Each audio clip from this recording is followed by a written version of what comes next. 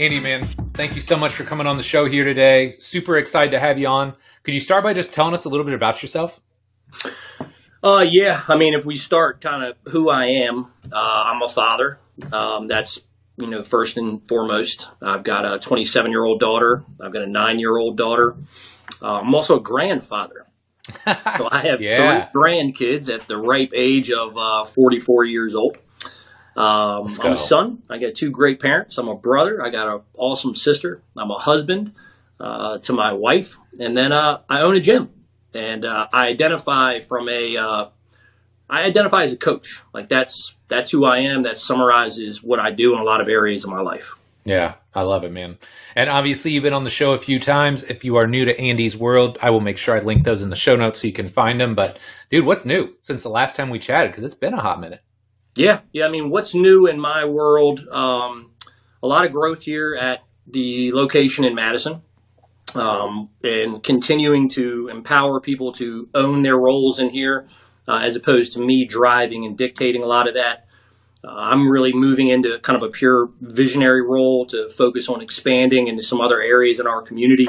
Um, we do have uh, an opportunity, like I mentioned to you, ironically, uh, after this podcast, I'm going to look at a building in another location. Um, you know, I don't think you can jinx that. I don't really believe in it.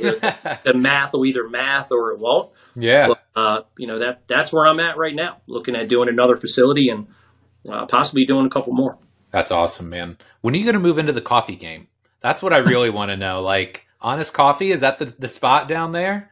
I'll tell you what's the spot. What Honest is the spot here. You, you have been to Honest. It, it's yeah. the spot. I do think that's the best. Um, but recently, I just got put on for all of the coffee lovers the brand Fellow. Are you familiar with that? Don't think so. Fellow. Okay, they make Fellow. really good coffee shop quality grinders, uh, okay. pour overs that are rel- that are affordable. So here recently, I invested in the the Fellow setup. I got a good grinder, a good scale, okay. a good you know all that good stuff. And uh, the brand of coffee that I'm just in love with right now is called Onyx. Okay. Um, yeah, Onyx has some of the best coffee options um, available, and it's a it's a great brand. Anybody that's really into coffee, they, they might know about it. Yeah, uh, they certainly appreciate it. Okay. One of my favorite memories of you is we were touring Indy one time, looking at different breakfast spots and coffee spots, and we walked into one, and you're like, "Nope." What do you mean, no? He's like, "No, I can tell by the the coffee Machine. maker. yeah. The next one we go into, and you're just like, "Yep, that's it." That's the one. sure enough, it was the best coffee we had that weekend. Yep. So yep. that's yep. awesome, man.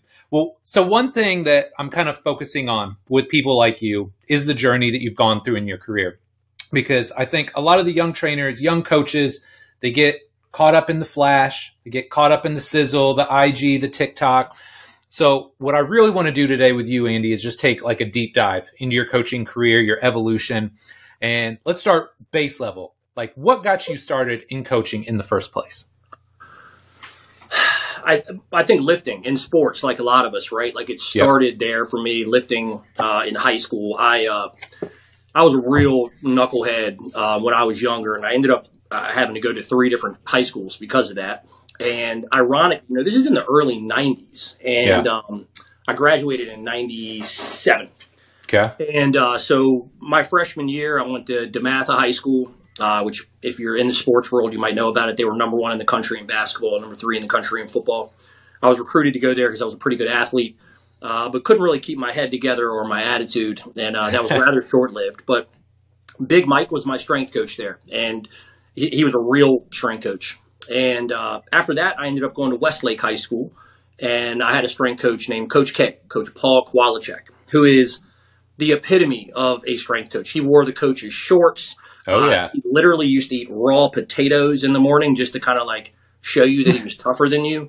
and uh, he, he was an absolute animal. You'd come into school early and he'd be in a full sweat. He had already got a workout in and yep. he lived it, man. And then uh, the third high school, after some things at Westlake, uh, I had a guy named David Bradshaw, and uh, he was a real strength coach too, man. Like we lifted hard, we lifted heavy. Uh, it was very much in the powerlifting days, and because I was pretty damn strong, I had a connection to Mark Chaillet. Chaillet's Powerhouse in uh, Marlow Heights, Maryland. So anybody that's into powerlifting will probably know Mark's name. He was a really big guy in the powerlifting community, yep. and uh, powerlifting was you know my first kind of entrance into things from a strength standpoint.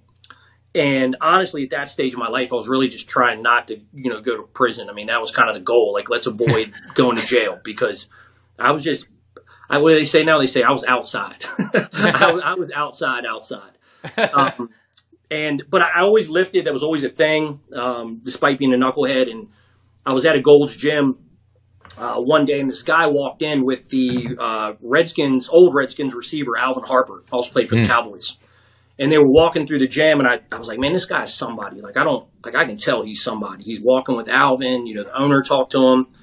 So i just something told me go talk to him. And i went up and i talked to him and i said hey man i'm, I'm andy. I'm you know i'm really into lifting and stuff. Like who are you? You know i don't yeah. i don't remember how i opened that door but he was like hey man i'm eric and i'm uh, i'm here to look at an opportunity of putting a personal training company uh, inside this gold's gym. And uh, i don't know why i just i was like oh i've always wanted to be a personal trainer I, I had considered it, but it wasn't like it was my life's dream, right? Right. Yeah. Um, he was like, really? And uh, and I just kind of blurted out all the things I was dealing with in my life. Hey, man, I had a kid at 16 years old. I'm living on my own. I live in the projects down uh, in Indian Head. You know, I'm, I'm just really trying to find my way in the world. And and he was like, look, if you're open to it, meet me in Rosslyn, Virginia, uh, at Gold's Gym uh, tomorrow. I was like, all right. So I drive to Rosslyn and I meet him. And as I'm driving through uh, uh, DC, there's the statue of Iwo Jima, and there's the condos behind it. And I remember, I always remember looking at those condos, like, wow, like, what would it be like to live there? Yeah. Well, after going to this gym and talking to Eric, he's like, hey, let's go to my, let's go to my place. He lived in those buildings. Wow. And he's, I would, he started sharing his life story with me, which was very similar to mine.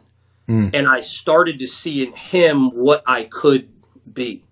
You know, I was just a troubled kid with very little options, but I was into sports and into lifting. And come to find out, he had corporate, uh, he had memberships or uh, exclusivity contracts at all the Gold's gyms owned by uh, John and Kirk Galliani, who owned corporate licensing for Gold's at that time. So I locked into him and was like, man, this is what I'm going to do. And uh, he really took me under his wing. He put me in a position um, of authority by eventually making me the uh, director of nutritional services, which really just meant I ran the software and I managed other people doing it by driving to all the locations. Right. And uh, that was kind of my first entrance into coaching. It helped me get my first PT cert uh, and all of those things. And then there was a series of events that happened in my life. Um, you know, I had some friends that went to prison. I had some friends that, you know, were killed. And um, I remember telling my daughter's mother at that time, you know, like I said, I had my first kid at 16. It's like, hey, we got to get out of here. And my parents had already moved to Alabama.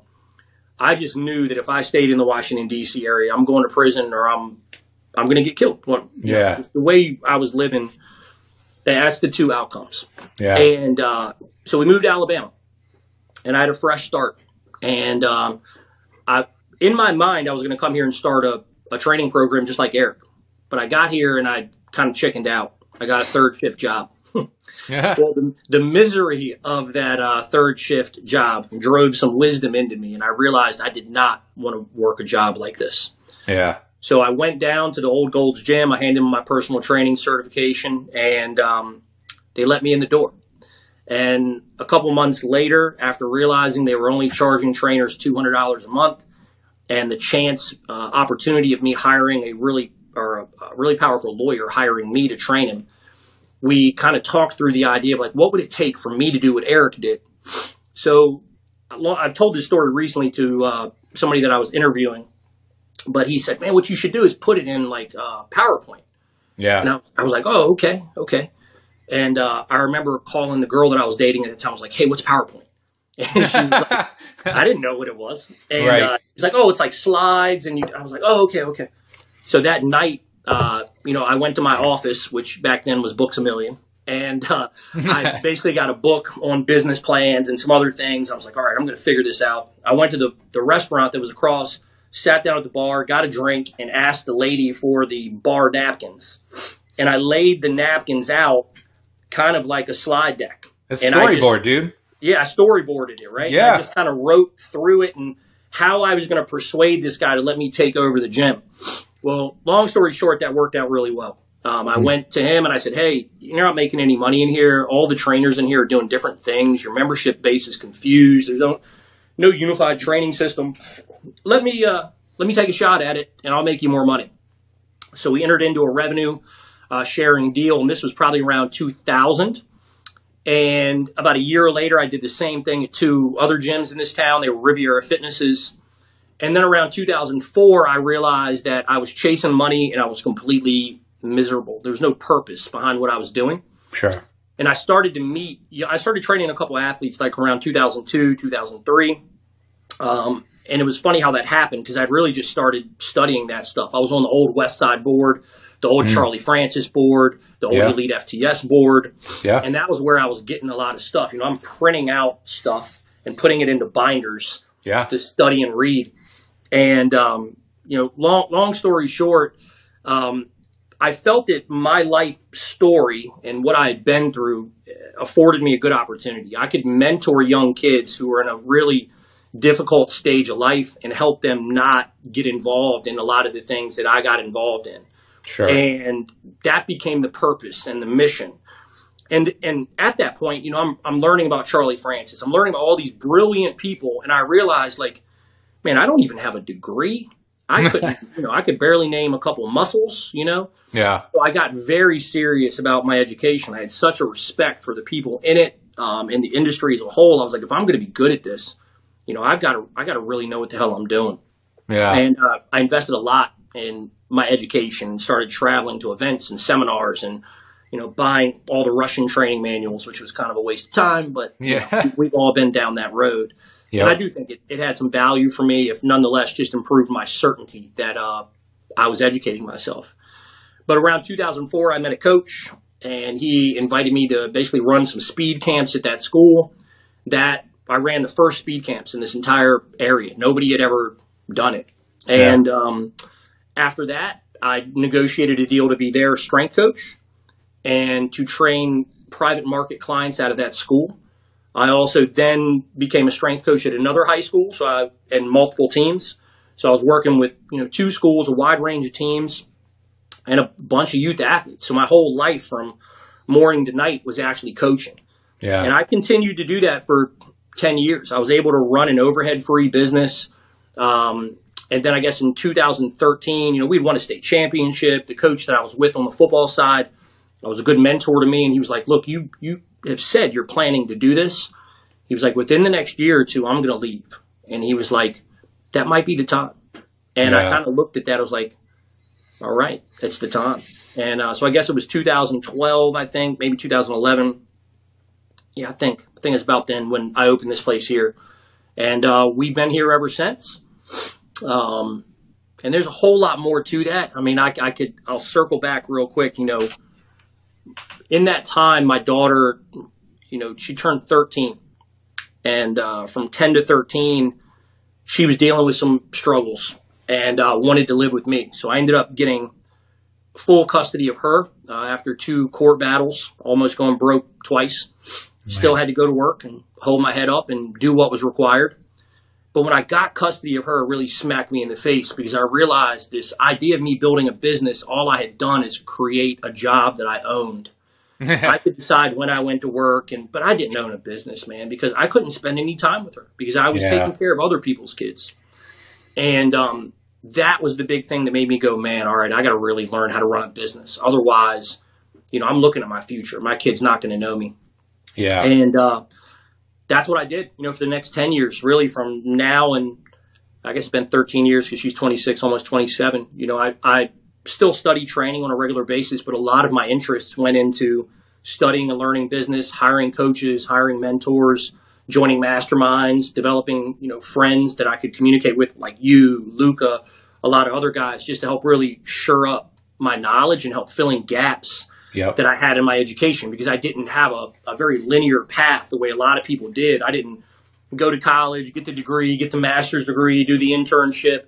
Right. You know, I really kind of had to learn a lot of this on my own um, through trial and error. So, I mean, that that's you know, 23 years and well, 44 years really almost in a very short period. I, don't want to bore the audience too much, but there, there's a lot in there. No, first off, I don't I don't think I ever heard the first part of that story. Really? you going and meeting with the guy and going into the, that's amazing. Yeah. I mean, you talk about like manifest destiny or Yeah. something. You know what I mean? Like that's super cool. And I don't know, man. I just I really feel like I'm a believer that everything happens for a reason. Yep. You know, good and bad, right? You know, sometimes the bad stuff you learn even more from that. But man, that's really cool. I'd never heard that. Also, for some reason, man, I guess I thought you started about the same time we did. Because we started in 2008. We're always trying to catch up to Cressey. We never will because they were 07. You know, Yeah. but I guess I didn't realize because I, I knew you for a coach for so long. I didn't realize you didn't open BCI until 12 or 13. Yeah, well, I mean, BCI was open. It was called Okay. Body Creations Incorporated. Yeah. So at first, I just wanted to create this personal training company, and the goal Yeah. was really to uh, like franchise them all over. Uh, a cha- do you remember what year it was when Elite FTS had that seminar in Syracuse? Do you remember? Oh my gosh. So Dude, well, I was don't. It was a very long time ago. A lot of people Yeah. remember that, but um, I had a I had been trying to figure out what I was going to do with that business for like a couple of years. Like, how am I going to grow this? What am I going to do? Right. and I had a chance meeting with Dave Tate, and he talked about the eMyth Mastery Program. Mm. So as soon as I got back, I enrolled in the eMyth Mastery Program, and I built out this franchise prototype of how I was going to go into these gyms like Eric had done and get exclusivity contracts. And like almost as soon as I was done building it, the whole industry changed. They really Yeah. quit letting in a lot of outside contractors. There was a period of time. I know it's come back around now. but There was a period of time where a lot of these gyms were like, "No, we do everything in house." Absolutely. and things switched and i was like well here we are Yeah. and uh, i kind of again looked at that as a sign like your mission is in sport performance it's not in building a franchise training company i mean i didn't even know why i wanted to do that other than i didn't want to be broke and Right. uh, i wanted to make money you know that was it Yeah. So talk to me. You've mentioned a couple of times here, whether we're talking about coaching, whether we're talking about business, this idea of like really diving into continuing education. So what made you get started there? Was it just that like kind of little voice in the back of your head, like, oh, I don't have the degrees or whatever that this person has? Like, what made you get into that? Because I know that's something ever since I've known you, you've been so like really militant about educating yourself. It's something I deeply respect about you. But like, what made you get started on that path? i mean if i'm honest like in i've kind of figured it out now Yeah. uh, it it was really insecurity man Yeah. and and fear. It was wow, all these people are really smart Mhm. and they're going to know that I'm a phony if I don't get smart too. And now I hadn't read a book probably since third grade, you know, when I really got Yeah. into this stuff. But, uh, I did grow up with two parents who were, you know, big readers.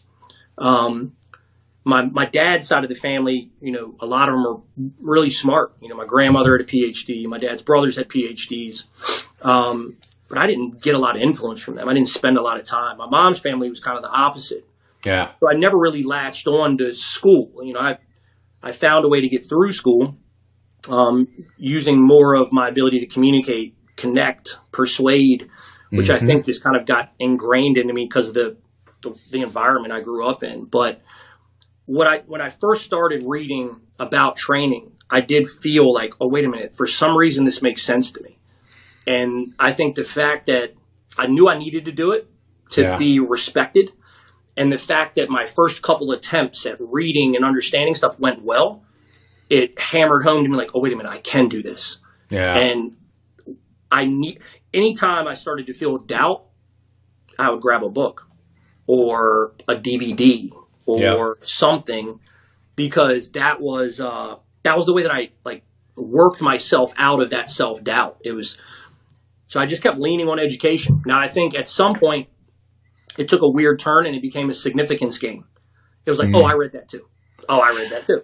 Oh, I read that too and I, and I recognized that about myself and that some of these things I read weren't really applicable to the private market environment. And this is why I was happy that I didn't have a lot of traditional training initially because I Mhm. would have felt obligated to bring that into the private market. yeah. Where I started to recognize like there's no way I can really build a perfect program in this world. No. Um, all these kids have different coaches and you you know the variables and- and so- Absolutely. and so, do your listeners. Um, but that that was helpful for me. And if if I I always say the the thing that keeps a lot of really good strength coaches from building a really good business is that they're really good strength coaches. They mm. can't see through their traditional training yeah. to modify variables that might not be perfect in the eyes of the literature, but still get results. And I mean, I, anecdotally, I've got a 23 year study here um, where I can tell you that doing things not perfect can create some very high outcomes with even some of the most elite athletes in, in the world. Yeah, no, I love it. Man, two things that you said. Number one, I think when you talked about when you were reading some of these books and it just naturally you were like, no, I, I get that. I think part of that is the fact that you didn't have the traditional background. You had like this really entrenched practical knowledge, right? You learned on yep. the fly. So from when you were 18 to now 44, like it wasn't, oh, this is what this textbook says and Tudor Bompa says I should. No, it's like, hey, I tried this with this person. It worked. I'm going to keep doing it. Or this person didn't work. This didn't work with this person. I'm going to stop doing that. So yeah. I think that's that's huge, right? And like, look, I've got a girl right now I'm working with. I wrote this beautiful program for her, right? But you know what? This week she can come in three days. You know what? Three days she can come in Monday, Tuesday, Wednesday. So I'm going to take her Monday, Tuesday, Wednesday, and I'm going to adapt the program because that's what's going to work for her yep. and her schedule. So there's that. But then you something else you said. I think this is God. This is such a great point. Uh, you know who Craig Valentine is, right? Yeah. yeah so really. Craig always talks about action over anxiety. And I think, especially in this day and age, you hear the word anxiety so often. Man, anxiety is just like kind of just that that guilt in the back of your mind. You should be doing something. You should be doing something. You know what fixes that? Doing something. doing something. you know what I mean? Like just yep. just go do something. Right? So like you, you start to feel insecure. You feel like you don't know something. Oh man. But if I read this book, now I'm leveling up. Now I don't feel that anxiety anymore. And I think that's, that's just such a great take home message. Yeah, man. That is probably I always say like books, you know, saved my life in a lot of ways, man. They um they real and I call it mining for gold, and it kind of became my superpower. Mm-hmm. Um, even a lot of times now, if I make a comment on somebody's social media and I think it's really good, I'll just put the word gold. Mm-hmm. Um, because what's really hard now is if you're a young coach, like if you're listening to this podcast, you're probably pretty well plugged in.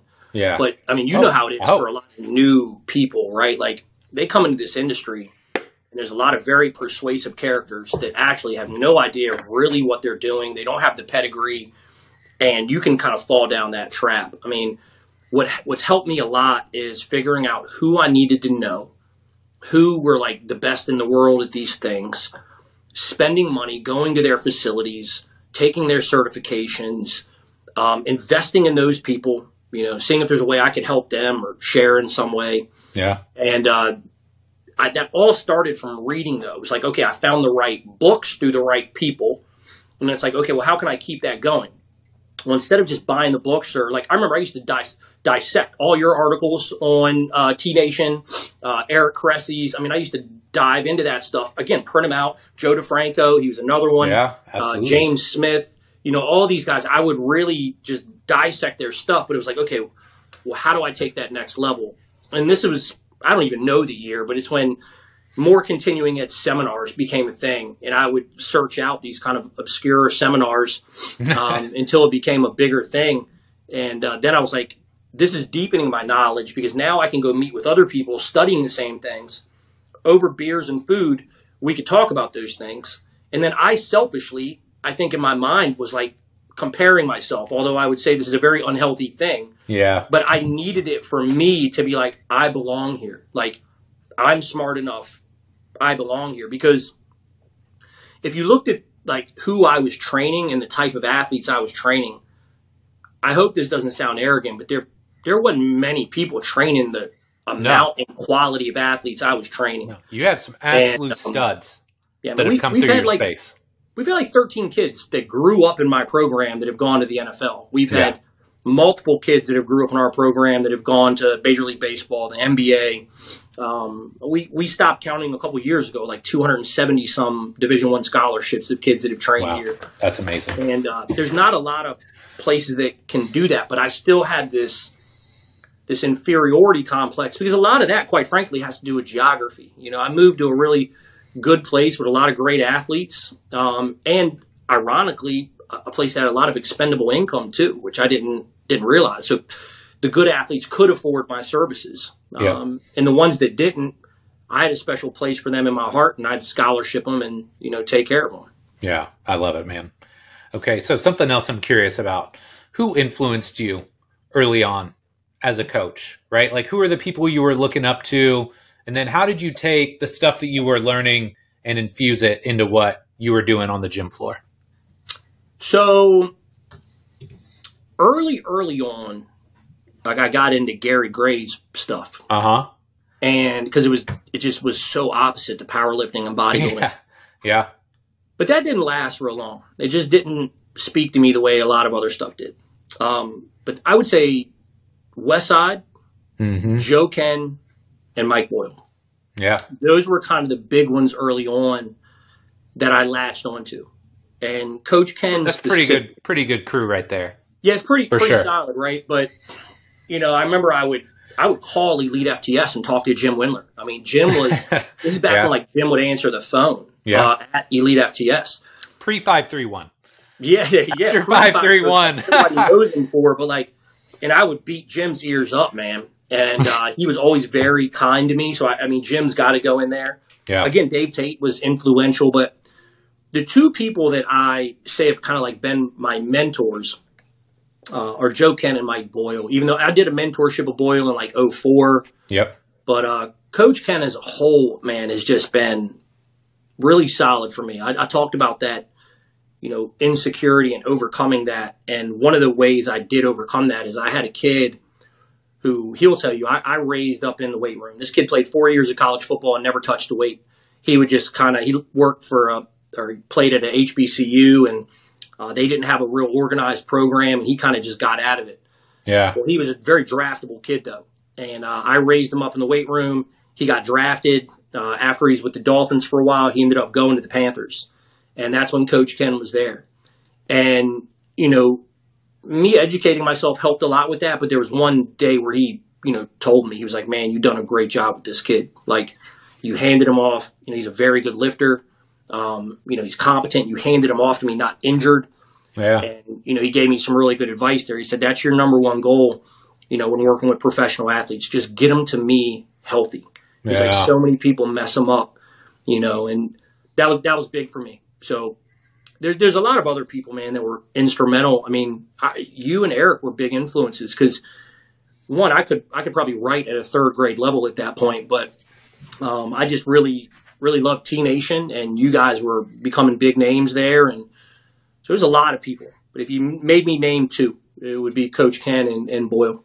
Well, look, one thing that I always appreciated too, like being on being on stage with with Joe was always entertaining, right? You know, we did those three Eid seminars Yep. over the years, and I know you attended most, if not all of those. I was so I always, I, exactly. So I always love the banter between you guys, but you can always tell who Joe really respects and Yeah. the way he talks to people. And I could just tell, like, no, he respects Andy and the work that you've done. So that was very cool to Yeah, see man. that side of it. And I mean, look, like you said, okay, if we're taking kind of the bird's eye view of the early 2000s, if you got West Side slash Elite, right, you got all your powerlifting foundational strength there. Joe's one of the first people that's actually talking about you developing all these different physical qualities with tier system. And then Mike Boyle fills in all the gaps, you know, when he's talking about split stance and single leg. And man, that's a really, fe- like, really strong crew to, to learn from early on in your career. Yeah, and then even if you kind of go back to Gary Gray, kind of the multi-planar stuff, like I Yeah. still I kept a lot of that in, you know, what what I did with people, and um, yeah, eh, yeah. It, ironically, just kind of falling into those places really helped round out my education in a lot of ways. I think we're always looking for blind spots, right? Or good people that aspire to be good coaches, program designers are always looking for blind spots.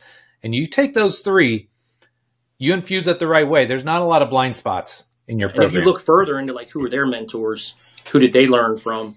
Now you really, which again is something Coach Kenn hammered home, is like you got to know your history in this industry. Like yeah. it's amazing to me that there's strength coaches that don't know who Johnny Parker is or Boyd Epley or you know people like that. I felt obligated to go back and learn that history, like like Yeah. U.S. history. You know, it's like I need Yeah, to it is. know this industry. Yeah, I love it. Okay, so we talked about this pre-show, and I really want to hear your your thoughts here because Yep. I feel like personally, most, maybe not all, but most coaches at some point doubt themselves. Right? I think it's logical because there's this perception that hey, it doesn't matter how good you are, the quality of the work, that everybody out there is doing better work. Right? And it's even I think it's even harder now because of social media and all that. Everybody's flashing their highlight reel, who they're working with, the success they're having, all that. So I think it's natural, right? But I'd love to hear did you ever go through a time where you really doubted yourself as a coach? And if so, how did you get through it? I mean, I think that was probably the thing pushing me along all the time. You know, it was probably always playing in the background of my head. It was a constant, you know, you have to know so much about this stuff and be so good at coaching that nobody goes, "Hey, what school did you go to?"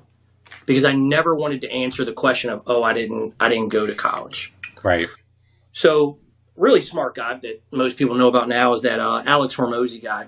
Oh, yeah. and and he's got a quote where he says, "Outwork your self doubt," and Mm. uh, that resonated with me so much. It was on this whiteboard. I wrote it really big for, and and literally, I did it like last year. I wrote "Outwork your self doubt." Um, because it's still a constant in my life, man. Um, I don't have a lot of the measurables like the degrees, and I mean, I, shoot, NSCA wouldn't even let me sit for a CSCS, and I and I would I would smoke that test on a on a bad day and uh, right. so I always I always had that, but for me it was like, okay, what are the people that I respect reading? What are they doing? Who are they learning from? Where are they going? And I just leaned into that. It's like if I didn't trust myself, it was like, okay, well I trust them. Yeah. And I'm just going to follow what they do. Yep. And then, you know, I really I hadn't been around a lot of strength coaches, you know, like I was kind of in my own bubble. So, I mean, I think I went to go visit Joe DeFranco in like 2002 or something. Um, I went to Jersey. I, like I said, I went to Boyles in 04. Yeah. Um, I joined a, a mastermind kind of early on, and I started getting around other coaches, even coaches I respected, and going like, "Oh, wait, I I do have a handle on this. Like, I do understand it." And then I had a body of work that ah, it was it was pretty daggone good, man. Like the the amount of kids and the quality of athletes I was training across multiple levels started to close that gap for me. It's like surely I don't have all these people fooled. Like I might be kind Right. of good at this. Yeah. yeah. Dude, I so I was about to jot this down, but I'll just say it. I really feel like if we're being totally honest and transparent, 80% of training and coaching is common sense. Yeah. Like like 80% of it. Now, the next 20% you're going to have to work for, right? Yeah. Because that's the details and the nuance. And now it's so much easier, right? So think about think about back in the day. Okay, yeah, we had the major resources. You had Westside, you had Elite, T Nation, Mike Boyle, but a lot of the the the nitty gritty stuff maybe you didn't have the same access to, right? But Yep. now it's like, what do you want to learn about? Linear speed, perfect. There's people for that. You want to learn about multi-directional speed, got that. Conditioning, force plates, braking. You know, it's just so much easier now because there's all the realms and then all like the little segments of it versus back in the day, you had to really like apply yourself. And there was just more process to it. Like, okay, who are these people? Who have they trained? Do they actually know what they're talking about? Do they fit into like my philosophy and my filter? So I don't know. It's a lot. It's a, in some ways it's easier now because there's so many more people to learn from. But I feel like in some ways you also have to filter that much harder now Yes. because it's so easy to look good on the internet. so that's actually a part of my strategy to educate our coaches. I, Okay. re- I realize that it's harder than ever to find the good because Yeah. there's so many, right? mm-hmm. And somebody who really doesn't know what they're doing could be just using some exercise they found and they're persuasive, and you might actually believe them and fall down the wrong trap. So knowing that people are learning through these like little Instagram sound bites and videos, when we onboard a new coach, I start sending them your content, Altis's content, like whatever Mm, I yeah. trust and and value. I send that to them to give them that filter early on. And I I, like literally that. tell them, stop following accounts other than the ones I send you, or the ones that you really dig, like run it by me. And I will Yeah. tell you all I got to do 90% of the time is go check who they follow. Oh, and yeah. I can tell you whether or not they're kind of in the know or they at least align with the philosophy that we believe in in here. So yeah.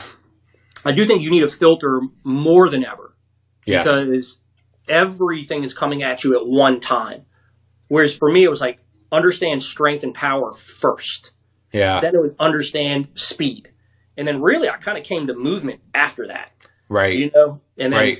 shit, I'm still learning about, you know, a lot of stuff, man. I have different perspectives on conditioning and movement than, you know, than I ever have. So, Yeah. Well, part of that is the aging process, right? You're And- constantly reminded you can't just bang heavy weights all day, every day anymore. As much as it, it would be fun.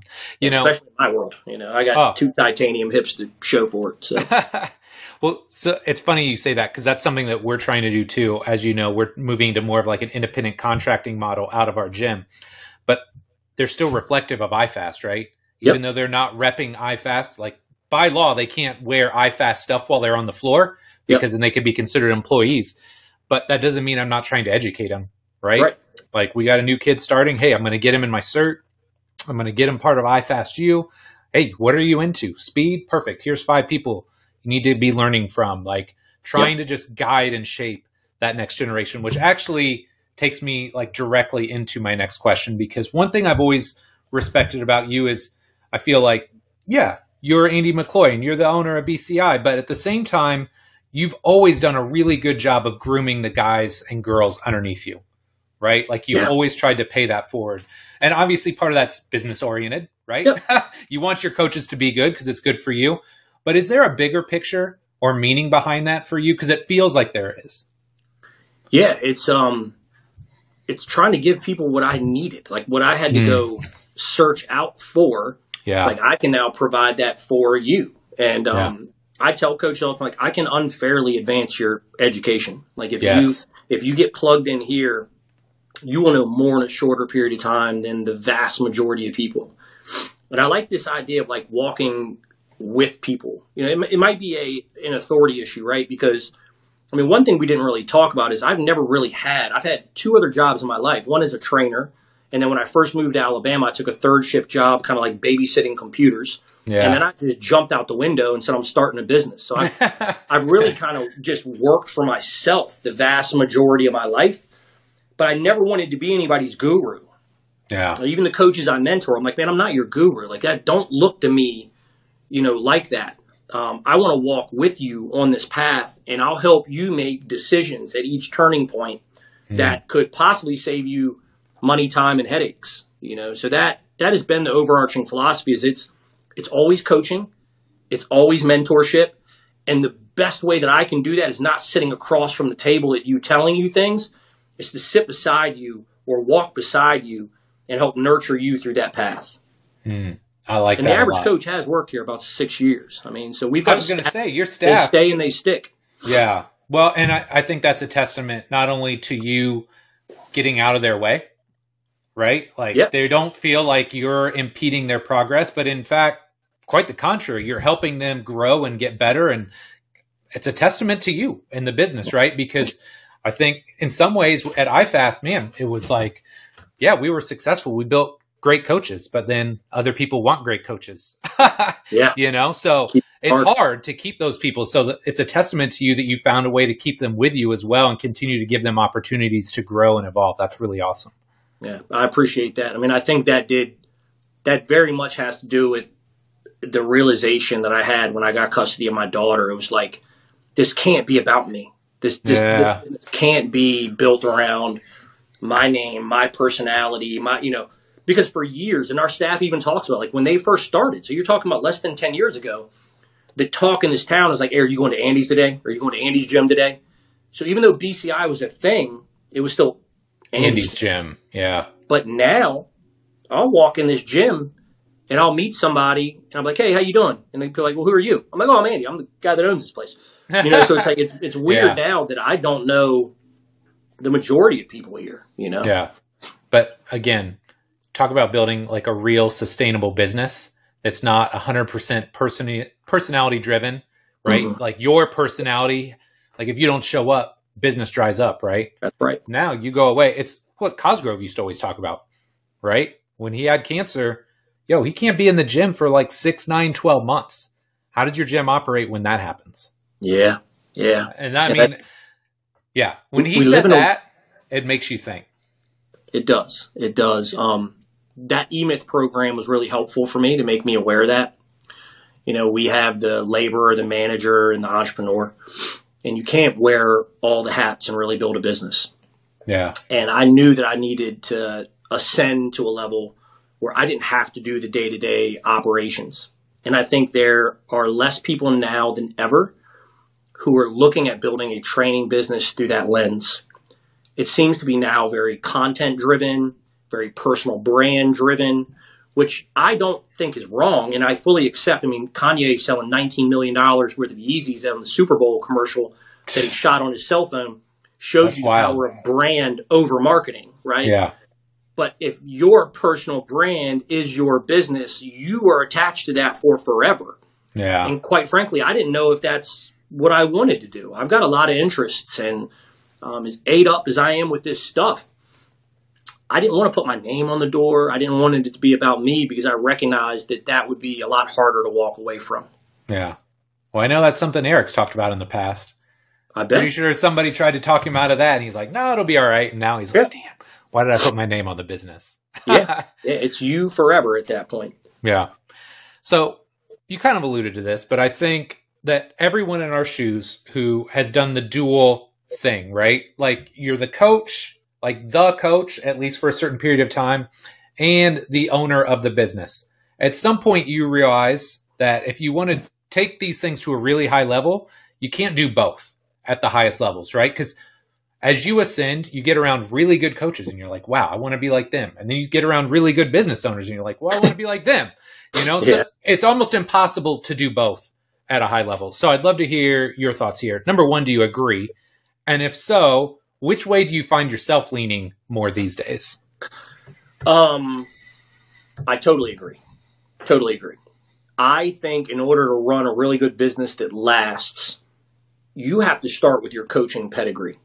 Mm-hmm. I do think at some point in time you have to switch and put the same level of effort that was put into your coaching pedigree into understanding how to run a business. And again, I'm probably Agreed. biased to that because that was my my path and my journey. Yep. But I, I do talk to a lot of sport performance and fitness business owners. And a lot of times, the solutions that I provide or input I provide come from my understanding of strength and conditioning, not Hmm. so much my understanding of business. Um, there's specific things with how people run programs. I'll give you an example yeah.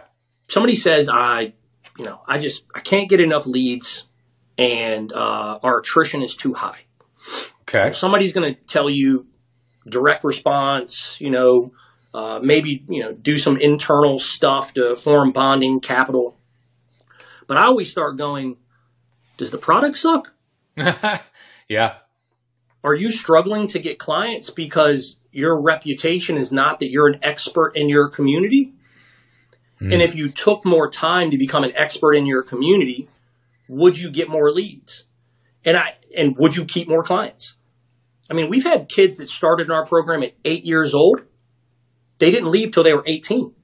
Yeah. Like so, Jaden Hill plays for played for University of Florida, but he with Texas A&M now. I mean, he started at eight years old. Uh, That's crazy. Jamil Muhammad that plays for USC. He started with us like 10 years old. Wow. You know, and it's they knew where to go, right? Because they wanted to, they knew that my spot was the spot. And then because it was good, they stayed. yeah. I had a kid that just left the Titans. He's now with the uh, Saints. He sent me a message the other day. He said the best strength and conditioning I've ever had in my life. He also played at a big time SEC school that I'll leave nameless. Said that hands down the strength and conditioning he got here was better than anywhere else he's ever been. And uh, I hope that doesn't sound arrogant. It's just I'm just telling you the truth about what this kid has said. And I think the biggest mistake that a lot of sport performance and fitness business owners make is thinking that all the business solutions have to do with the mechanics of business operations um, and sales and marketing. If you aren't that good at the job, that's always going to affect your ability to build a business.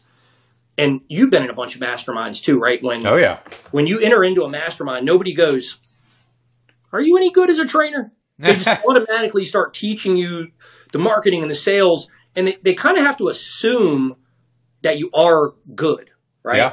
Yeah. But I think that creates this misalignment of expectations and an understanding of really what's required to build a good training business. Um, one of the things we've talked about now is we bring in coaches and nobody knows how to coach anymore.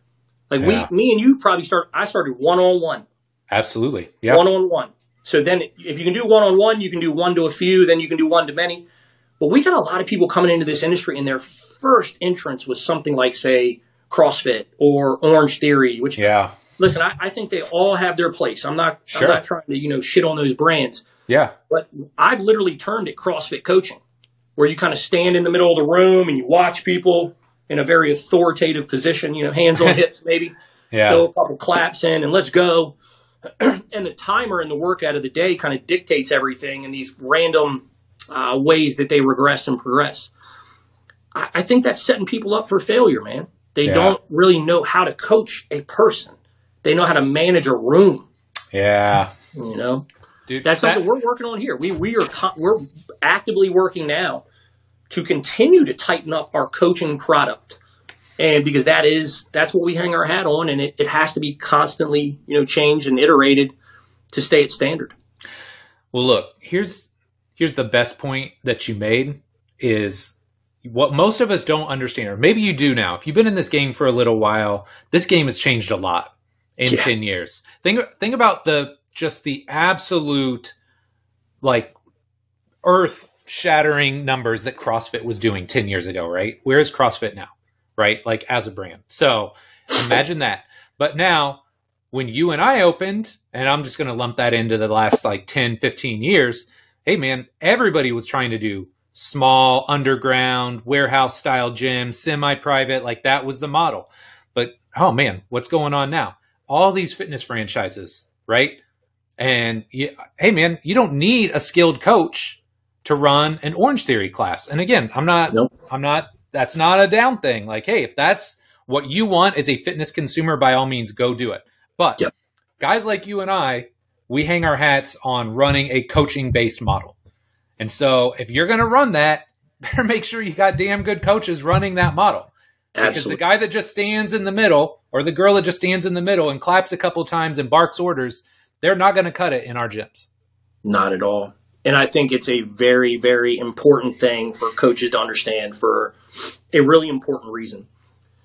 Like I remember when CrossFit hit. Actually, I had heard about CrossFit in like 04, 03, Yeah. sitting in a USAW Olympic weightlifting certification in Columbus, Ohio. Okay. The guy next to me started talking about it. He worked for like the Scottsdale um, Fire Department, and they were Okay. doing it. He sent me the journals, and I started reading it. I was like, "Well, this is not true. What are they talking about? This is this is not what I have been reading about for the past Right. however long." right. And so I did not jump on that bandwagon the way a Yeah. lot of people did. But what helped me, and, and kind of where I'm going with that, is my understanding of training and coaching gave me the certainty that I did not have to join that club to be successful. right. And it also gave me ammunition to fight back against them if we were fighting for clients. yeah. Um, you know, show me any research that you know high rep cleans done in a fatigued state is going to develop the same outcomes that we can create doing it the way that Olympic lifting is traditionally programmed. yeah. Doesn't exist. You know, well, maybe some CrossFitter exploited some research by now, but yeah. um, and again, this is not to pick on CrossFit. I think they've done a lot of good stuff. It's just that my certainty, and maybe it was a little arrogant, but my certainty that I know more than these people, it kept me going. It, it, it was like, I will fight. What I won't do is quit. Like, Yeah. I'm not an engineer that started a CrossFit box as a second stream income. right. This is what I do. yeah. And um, yeah, that's worked out pretty good. I love it. Okay. One more kind of biggish question and then we'll we'll jump into our lightning round. So this is kind of like the evolution of Andy McCloy, right? Because obviously you've done the coaching thing. Now you're evolving, you're into the business side of this. And a lot of people I think go through this, right? People that have been in our shoes. Like I very clearly remember there was a point in my life where I was like I don't want to manage like 10 people. I don't want to franchise a gym. Like I enjoy the coaching side of it. No, nothing about this business pulls me so hard in that direction that that's where I want to spend my time.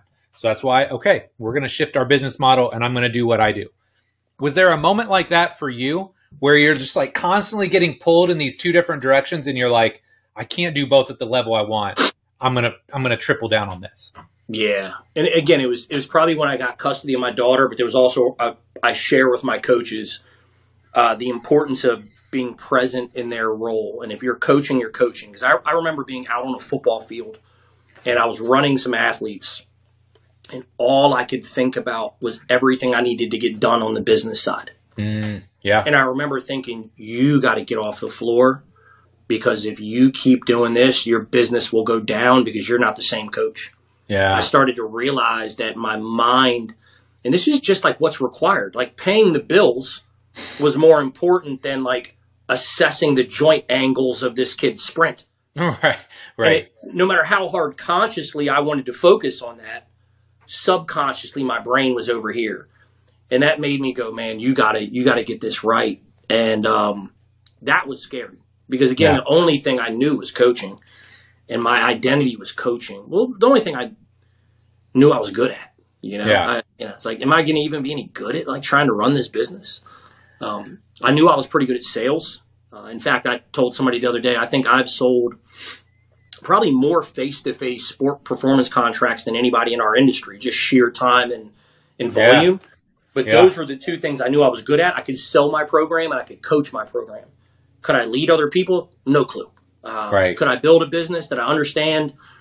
You know, some of the things I understand now in regards to financial management and uh, kind of the purpose now is like build one cash flowing asset and put it in another.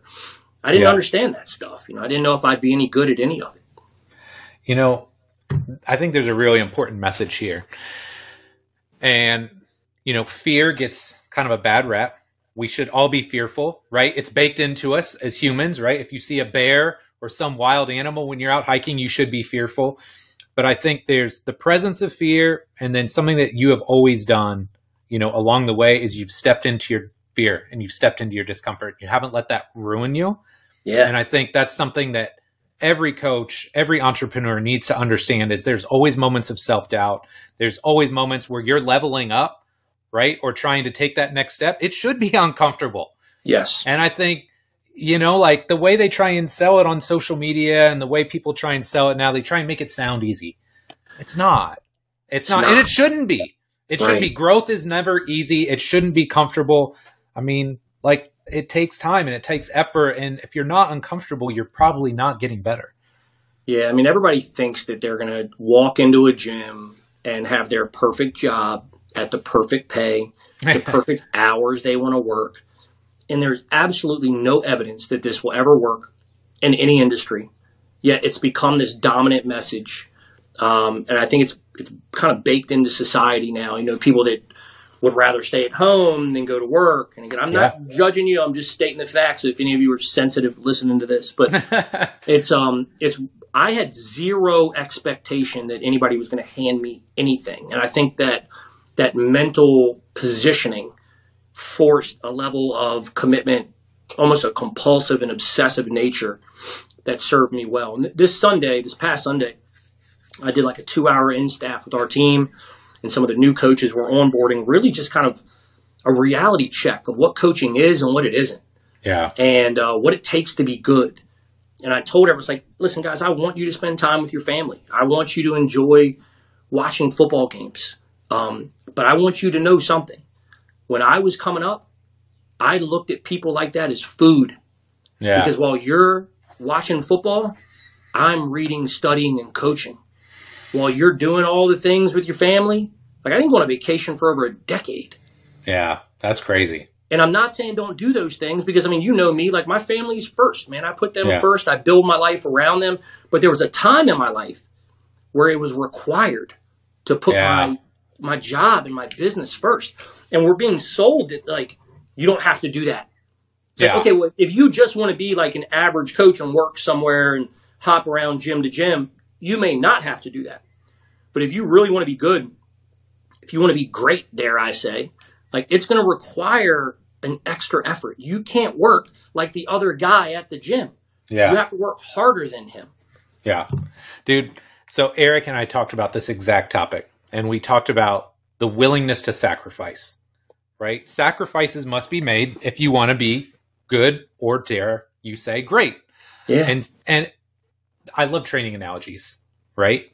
But if you want to be average at all things, go out and just do a little bit of everything, right? But if you want to be a great trainer and coach, at some point you're going to have to push yourself, right? Now, it's not to say you do that at the detriment of everything else in your life, because hey, you do it well enough and long enough at some point, now you can start to maintain those other physical qualities, right? Hey, I move pretty well. Now I'm going to layer on some strength. Okay, now I'm going to maintain these two. Now I'm going to add in conditioning.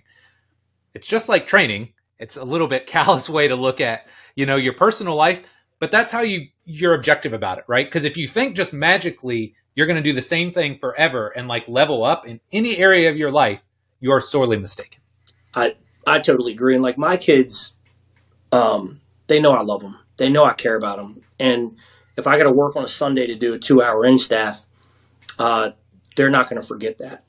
Yeah. And if you so if you're doing your job when you are at home and you are present, you don't have to sacrifice the connection with your family just because you're working more. And I would argue that a lot of people in your family, may not everybody, will respect you even more because of it. And yes. like my kids know, man, like I'm not building this for me. Um, I mean, yeah, it's for me, but I got kids and grandkids. I got to be able to leave them something. Yeah. And I don't want them to think that you can do that, you know, sitting at home eight hours a day because that's just not reality. All right. And uh, I I want them to know that you got to work hard for things that matter to you. And um, you know, Ed Mylett's got this great video where he's talking about being the one. You know, I'm the one in my family. I'm the one, and that really like I, that really resonated with me. It's like no, no, no, Yeah. I'm going to be the one. Like I'm going to be the one. I'm going to Yeah. make sure that you know I leave something for my kids and. I have ideas of what I want that to be, but it's it's more important that I hold myself accountable to the process required to get there. Yeah. And that and that might mean, you know, traveling to go to some masterminds or meetings or seminars or in staffs on Sundays. The one thing I won't ever ask anybody on my team to do is something I haven't done. Yeah. And uh, I mean that. Yeah, I love that. Well, and I just always think about when it comes but comes down to it, like you said, sacrifices have to be made, right? But like you, my kids know if I've got to do something on a Saturday, it's there's no other day to do it. That's when it's got to be done. And think about like the messaging in that, right? It's I'm not sacrificing you. It's this is important, right? This is what hard work looks like. Sometimes we have to make sacrifices, but on the back end, you also know I'm going to find a way to make it up to you right? We're going to go do something special. We're going to go find something else to do. It's never a, no, I'm always putting my work above you. It's like, hey, if this has to get done, it has to get done. It's part of my job. Yeah, it's an opportunity to coach your kids. Like my, Absolutely. Uh, it was a couple weeks ago. My daughter said, "I said, babe, I got to go to the gym and I got to work on something. It's really important." And my daughter, as clever as she is, she looks at gives me the pouty face and goes, "More important than me." and she and she was kind of joking, like I could tell, like Yep. giving me crap. And I said, "Let me let me tell you something. There is nothing more important than you to me. But when it comes to comparing going to the gym to work on this versus us sitting home and just kind of hanging out, right now that is more important. yeah. But don't you ever equate that to your worth and value in my life, right? So there's an opportunity to to coach and connect, even when you have Yes. to make sacrifices. You know, but yes. people they just see the sacrifice. They don't, you know, they don't understand that there's actually some real value in showing your kids and your family that too. Yeah. Well, the thing I always come back to is I hope I'm showing my children that you don't have to go to work every day and be miserable. Right? Yeah. Like, Yeah. like I, I'm just being totally honest. Like, I love my job, dude. I Yeah. love what I get to do. I'm passionate about it. I'm. There's never, maybe not never, very, very rarely is there a Yeah. day that I don't want to go to work. Right. And I hope they understand that. That hey, man, Yeah. you don't have to be miserable like so many people out here. You can wake up every day, love your job, be excited about it, and want to grow and get better. So, That's right, man. all That's right, lightning round, dude. Four questions. Your answer can be as long or short as you like. All right. Okay, so I'm a little slow on the uptake here. The shoe game, man. I, I don't think I'll ever achieve your level of wisdom, but man, we're starting to get into it around here. You know, I got Yeah, some yeah. decent shoes. My daughter definitely, she loves the Oh, shoe game. yeah. So you got to pick one pair to rock, and I know this is probably an impossible question for you. One pair to rock the rest of your days. What are you going with? Um, I'm gonna give you two, but I'm gonna answer it differently. Okay. because I because I couldn't wear the one every day because it would jack my you know knees and hips up. I, I figured that. out. But from a everyday shoe I could wear forever is like any type of Dunk or Jordan One Low, like it- any of those. Okay. But if you really know shoe culture and shoe history, this is this might be interesting for some Yeah. of your learners or your listeners. If you grew up in DC, Baltimore, Philly, New Balance was cool in the 90s the way it is now. Really? But it's one of the only places I was blown away when I moved to Alabama. Everybody looked at New Balance as just like a bad shoe, Right. like a dad shoe yeah. what would be inter- like if you if you literally Google New Balance, Washington D.C. culture, I bet you'll come up on some articles that I've shared with people. Okay. New Balance was the first two hundred dollar tennis shoe in my world, and it was the nine ninety to be clear. Yeah. In my world, Jordans were cool, but nine nineties were cooler because this is what really kind of like the the street hustlers, people that you knew they had money. They drove nice cars. They wore they wore 990s because they were comfortable Okay. enough to wear all day on the block and run if you needed to. and they and they also were pretty fashion forward, but went with everything. They were gray and they were blue back then, or like a navy blue. So Yeah. they matched everything. Okay. So the 990s, man, culturally have a lot of significance in my life. And it's been cool now that it's kind of making a resurgence. And I still think New Balance, like the 860s, the 990s, and there's a couple other silhouettes, they're just they're just world class, man. And Yeah. uh, but I can't wear a shoe that has that much support these days without my knees and my back hurting. So Huh. I, I That's wild. rotate them a good bit. Okay. Yeah. See, I ex- kind of expected the dunks or like some Yeah. Jordan ones, but yeah, Yep. did not expect New Balance. Yeah, I, okay. thought, I figured I'd throw you a curveball there. So, that was definitely a curveball. Yep. Okay. Number two, I feel like we've already touched on this a little bit, but just to summarize, how has being a dad impacted you? It's my whole identity. I mean, it's uh, it's it. Well, I shouldn't say it's my whole identity. It's It's a big part. it's a big part, and it's I've been a father more years of my life than not at 44 years old. It's like it's Yeah. really all I know. Um, Yeah. It's given purpose to my life. It's humbled me. It's helped me get my ego in check. Made me realize what's really important in life. Um, it's helped me. You know, people. Everybody's on a trauma journey these days, right? Like everybody's Yeah. healing from trauma. Yeah. Well, being a parent is it'll it'll reflect back to you the areas of yourself that are unhealed or that you need to work on. Hmm. And uh, I'm grateful for that. It showed me a lot of things about myself at times that I didn't really like uh, that I had to work on, and uh, that's been really valuable for me. Yeah, I like that. Okay, so you have owned BCI for 11, 12 years now, approximately. Well, yeah. It's been 23 years since I incorporated the company. Right. We've been in this building, I think, 12 or 13 years. okay, that's where I'm going with this. Yeah. What's one or two of the biggest lessons you've learned running a business in a physical location? Um, that being a really good coach can overcome deficits in regards to marketing.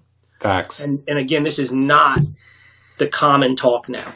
yeah. because if you're a fitness person and you log onto the internet, all you're going to be bombarded with is better ways to market, which Yeah. which is not wrong. Okay, it's not wrong. You need to get good at marketing uh, for sure, and it is a master skill that everybody probably needs to lean into. But coaching can help you really overcome a lot of that. You do a lot, really good job with the people in front of you, and you serve the people, and then you ask them to bring people. You can grow a pretty good business. Yeah. Um, I, I probably had 100 clients before I ever ran a Facebook ad.